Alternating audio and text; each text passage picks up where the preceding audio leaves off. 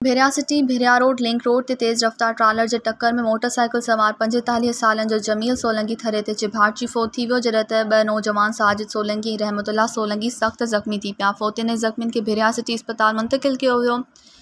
Photo नौजवान जो लाश ज़रूरी कार्रवाई बाद वारसन हवाले कयो वियो इन सिलसिले में ज़ख़्मी साजिद सोलंगी ॿुधायो त भिरिया रोड खां वापसि ॻोठ अची रहिया हुआसीं त शाह काटन फैक्ट्री भरिसां ओचितो ट्रॉलर सां टकर थियो,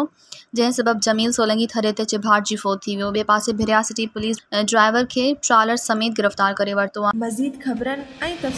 लाइ विज़िट कयो असांजी वेबसाइट www.awami news hd.com ऐं ॾिसंदा रहो अवामी न्यूज़ एच डी।